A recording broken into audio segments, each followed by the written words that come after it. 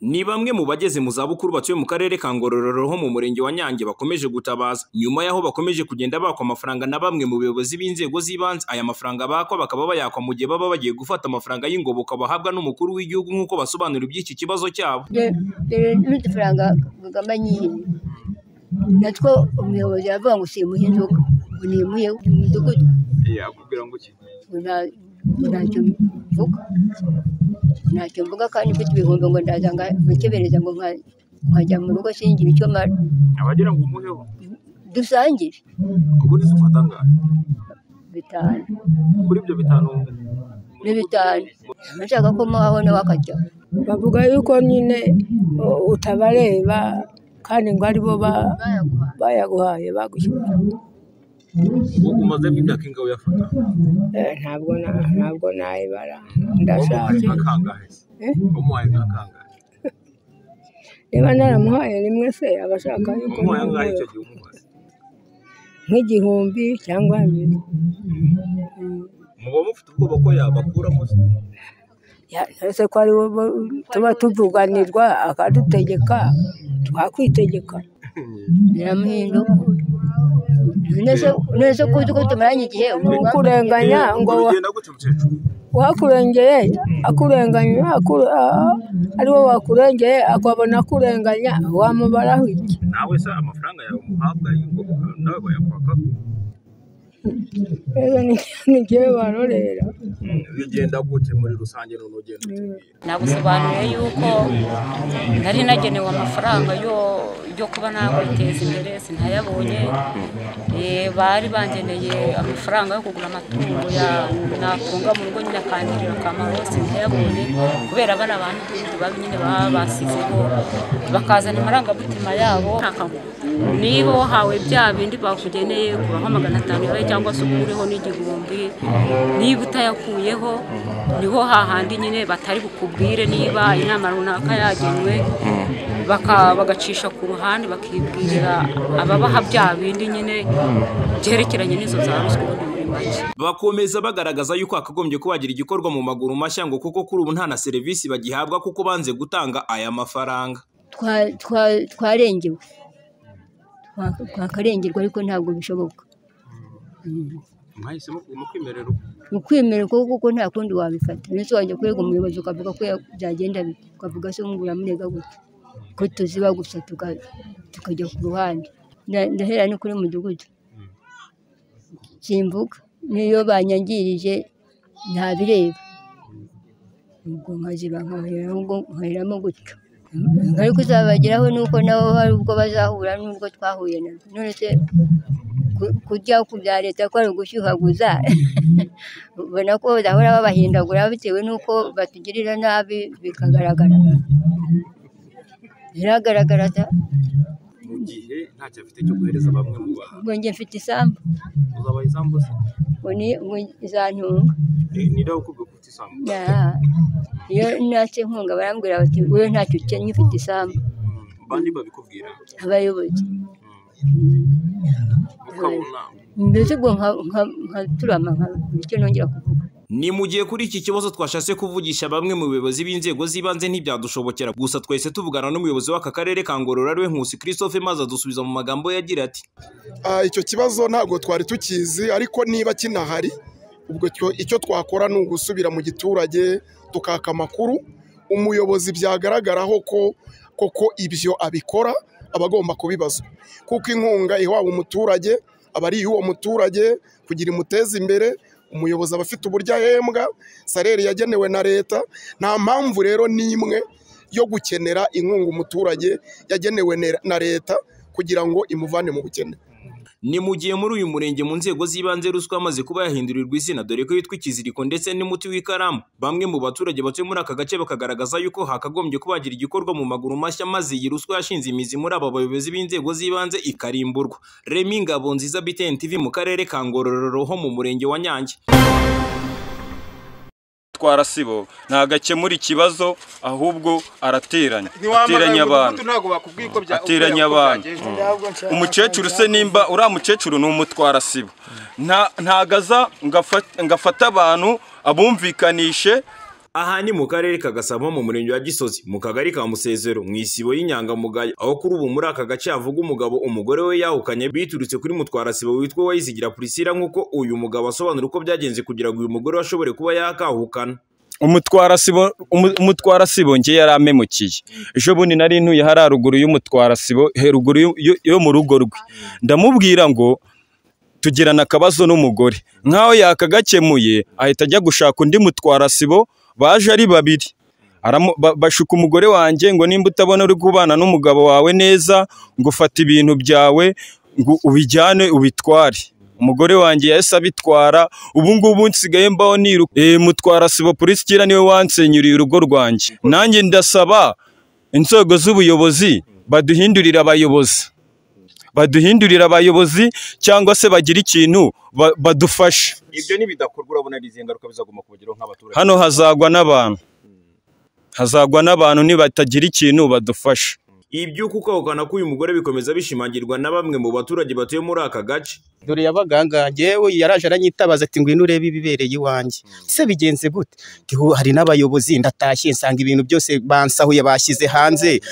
Ese bafashe ibintu by'umuntu babisohoye hanze? Nta nahari bari gushuka umugore we ngo nasohoke agende. Narahageze ikintu cyambabaje ni uko uwo banashukaga yagiye akabura aho ajya iryo joro akongera akagaruka hahandi yahavuye kandi yari yahavuye bamushutse ngo agende.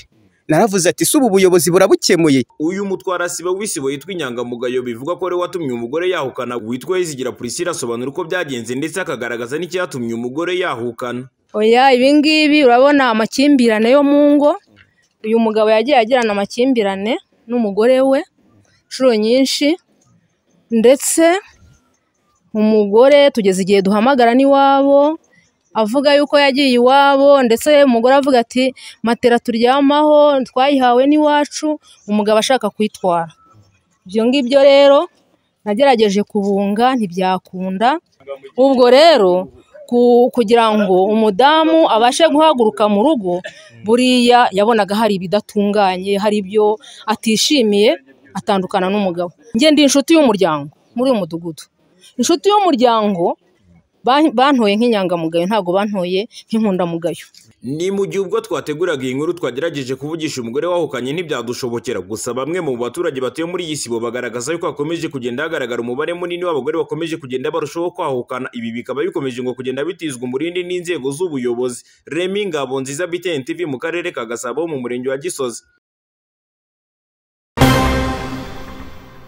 Ni mu burasirazuba bw'u Rwanda mu karere ka Kayonza mu murenge wa Rwinkwavu mu kagari ka Mbarara aho umukecuru uri mu kigero cy'imyaka mirongo itandatu n'itanu witwa Mukagasana Marie Jose akomeje gutabaza. Biturutse kuba musaza we afatanyije n'inzego z'ubuyobozi bari kumutwarira imitungo. Ibi bikaba byaratangiye mu mwaka w'ibihumbi bibiri na cumi na rimwe nk'uko asobanura iby'iki kibazo cye jenoside ibaye byabaye ngombwa yuko eh, tubunga mu makambi abajya tanzania baragenda twe dusigara i rwanda. Uko twasigaye i rwanda rero nasigaranye n'ababyeyi na, musaza wanjye uwo nguwo batisita byabaye ngombwa yuko batita ajya mu gisirikare. Avuye mu gisirikare agaruka dusanga mu makambi aho twari dukambitse. Afata ba babyeyi twabanaga banjye abajyana i karenge. Abagejeje i karenge nanjye aragaruka aza kumpa iyo nzu ntoya ye yari iri aha ngaha. Amaze kuyimpa nyibamo. Nizeye ko ari inzu yanjye. Birangira noneho umuhanda uje gusenya eh, uraza urakorwa. Barasenyaga gusa inzu yagonzwe n'umuhanda bazigiraga towa noneho rero abantu bagasenya. Byabaye ngombwa yuko iyo nzu ni njye wayisenyeye bitewe n'uko bari bayi- bayihinduye towa kandi koko yari inugitse mu muhanda nanjye mbibona ko igwa mu muhanda bakoraga. Birangira neza noneho ya nzu ivuyeho nkomeza kwiyubakira noneho mpereye ku bugure naguze n'umusaza witwa karamuka eh, n'uwitwa nigena uruhande bampa ku ruhande rwo hakurya undi ampa ku ruhande rwo hakuno mpurizamo kugira ngo nshake ukuntu mbona inzu. Ya nyuma aho ngaho ubutaka inyuma y'iyo nzu ntoya y'abatisita hari harangiye nta, nta, nzu yindi yari hasigaye byabaye ngombwa ko hari hari ubutaka bwa karamuka karamuka ngurisha ubutaka bwe yahingagamo imyaka aba ariho mpinga Eh, ndumva ari ibihumbi mirongo itatu. Yego ni ibihumbi mirongo itatu. Na nigena ngurisha ubw'ibihumbi makumyabiri. Izi nzu nazubatse bitewe n'abakozi bakoraga uwo muhanda. Ishansiye yabo uko yagahagaze i kabarondo mbere yo kugira ngo batangire no kuwukora bawuturukana i kabarondo bawugeza ku murindi babanje kuza gushaka umuntu ushobora kubatekera resitora. Nshinga uwo mwuga nari nari mfite akaresitora gatoya nkomerezaho. Nkorana n'aba bakozi ya shansiye yabo yose eh, ba bakozi bose na- n'abashoferi babo n'abikamyo byabo abo abakoraga umuhanda bose bari bari ba- bari bafite gahunda yo kurya aha hantu. Iwanjye bari barampaye kumande yo gukorana nabo. Mbo birangira. Noneho njyewe mbonye amafaranga. Amafaranga uko nakayabonye niko nabashije kwiyubaka. Na nzu yari isenyutse hano noneho ndagaruka ubwo nabanje kubaka iy'inyuma kuko bari iy'imbere bari bay- bayisenye. Akomeza agaragaza uburiganya akomeje kugenda akorerwa n'inzego z'ubuyobozi. Kugeza n'aho yibwe ikarita ndangamuntu agasaba ko yakagombye kurenganurwa mu maguru mashya ngo kuko nihatagira igikorwa azakomeza kugenda araraguza afere sosiyare yaje afite ibyangombwa bindi. Yitwa yitwa kwizera koroti afite ibyangombwa by'abaturage bo- bahariye mu ruvumu arambwira ati na azana nawe icyangombwa cyawe ndebe. Mu kumbwira ngo zana icyangombwa cyawe ndebe yaragifashe arambwira ngo noteri ngo hari ahantu atasinye ngo akijyanye ku karere kimwe n'ibindi ngo agiye kugi- kugisinyisha ngo bizagarukana n'ibindi yari atwaye. Icyangombwa rero uko kuntu cyagiye koko yarakijyanye ari umuyobozi. Njyewe nagiye i karenge nta cyangombwa njyanye. Afere sosiyete yararangije kukizamura i kayonza. Ngisiga mu, karere. Ndigendera. Noneho uko nakageze hirya musaza wanjye yasubiye inyuma. Irangamuntu wanjye ndayibura. Ariko mu kuyibura naje gufata ikisimbura ndanakijyana nkomeza gukorera mu mujyi iyo nari irangamuntu bayibira urwo rwacu iri i karenge. Ariko mu kuboneka kw'iyo rangamuntu yaje kubo- kuboneka hano rwinkwavu cya cyangombwa cyanjye bari mu kumbwira yuko noneho umusaza wanjye bakimuhaye ngo baranakimuhindurira ibyo nabigurirwaga na noteri uyu nguyu wo ku murenge. Ariko noteri yarambwiye ati musaza wawe yazanye icyangombwa cyawe agifite ambwira ngo mufashe kugihindura. Ngewe icyo nsaba ni uko rwose mfite akarengane. Mu bintu byamvunnye nkaba nandagaye nkaba nkodesha buri munsi ntunzwe n'amakode. Nkaba ntafite ukuntu mbayeho kandi nari nari mfite ubuzima nari mfite kwikorera nari mfite ubushobozi bwo kwibeshaho. Bamwe mu baturage batuye muri aka gace nabo bakomeza bashimangira uburiganya akomeje kugenda akorerwa bagasaba ko yakagombye kurenganurwa ngo ngo dore ko umutungo ari uwa Mukagasana nk'uko wamugurishije ubutaka nawe abishimangira. Twa- twaguze twaguze ahantu mo haruguru hano.